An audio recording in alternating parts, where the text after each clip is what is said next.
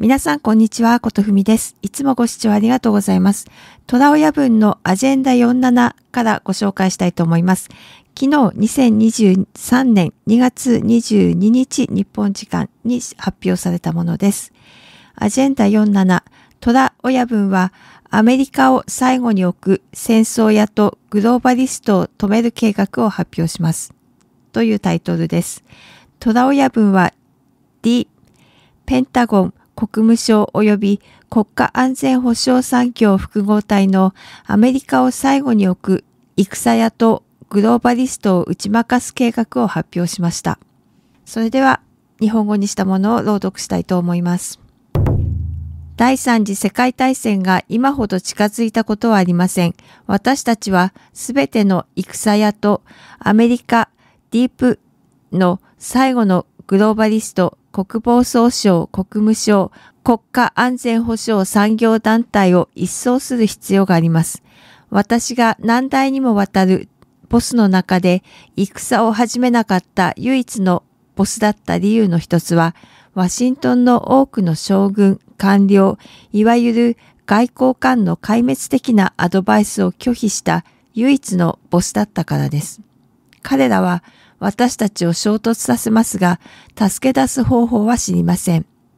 何十年もの間、ビクトリア・ヌーランドや彼女と同じように、ウの国を NATO に押しやることに夢中になっている他の多くの人たちと全く同じ人たちがいました。ウの国での暴動に対する国務省の支援は言うまでもありません。これらの人々はイラクや世界の他の地域の場合と同様に長い間対立を求めてきました。そして今、私たちは第三次世界の大きな戦の瀬戸際にいます。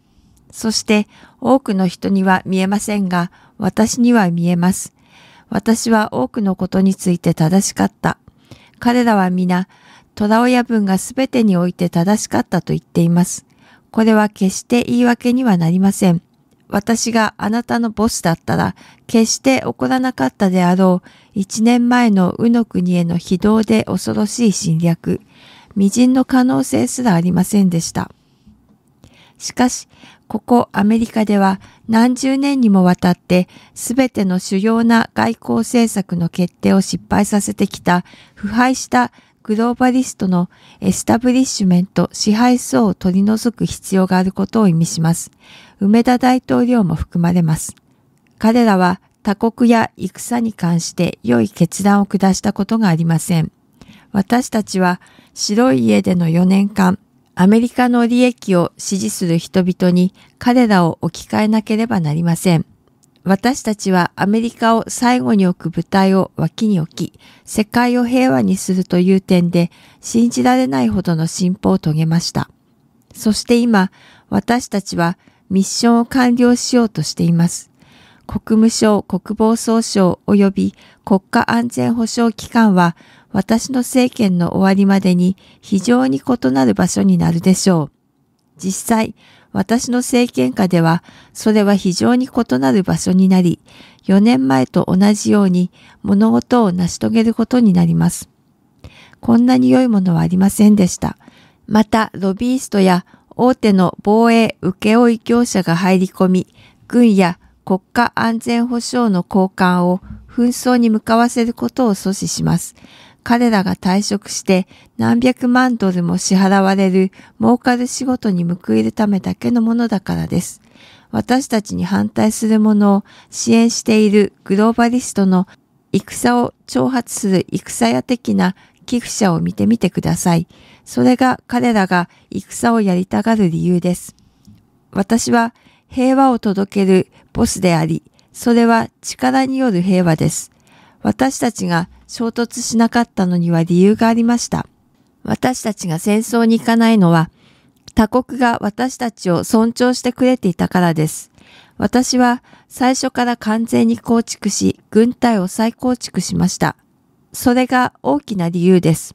彼らはアメリカにちょっかいを出したくなかったのです。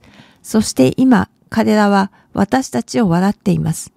適切な指導者がいれば、うの国の揉め事を24時間以内に終わらせることができます。